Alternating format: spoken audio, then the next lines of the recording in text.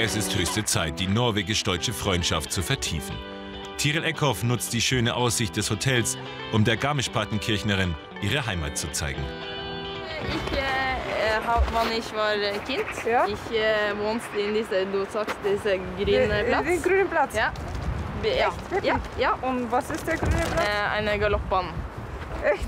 Ja, ja, ja, ja.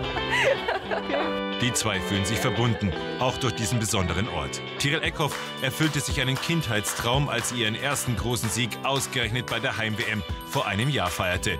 Gold im Sprint.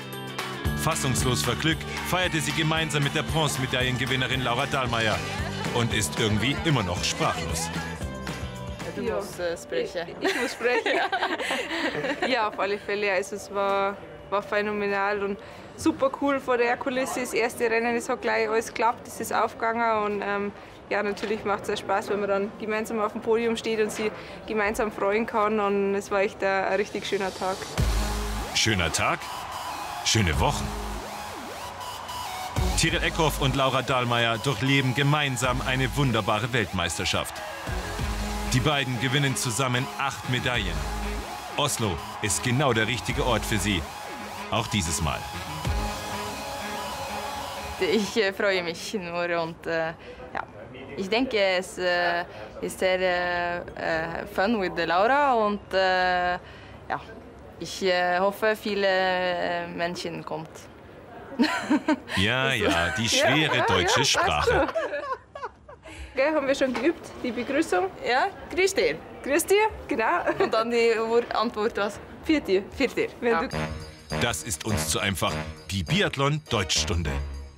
Schlagbolzenbruch. Schlagbolzen, kennst du? Ja, das ist der Dunk, Dunk, Dunk. Nein. Nein, ist der Herzschlag. Aber das ist aber ein schweres Wort. Ja, Ich ja. noch ein paar äh, schwere. Das ist das leichteste. Äh, do you use it? Ja, Ja, YouTube. Viele, okay. Unterstützt. Äh, Beim Schießen. Unterstützen. Ja, ja, ja. Ja. Na, ich verstehe. Biathlon Gesamtweltcup-Siegerin. Ja, das ist Laura. Ja. Und jetzt geht's nochmal los. Zum großen Weltcup-Finale am Holmenkollen.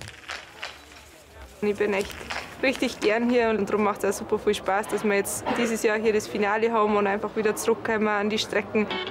Zum Ende dieser phänomenalen Saison passt Oslo ganz gut. Tiril Eckhoff und Laura Dahlmeier wollen es einfach so machen wie letztes Jahr.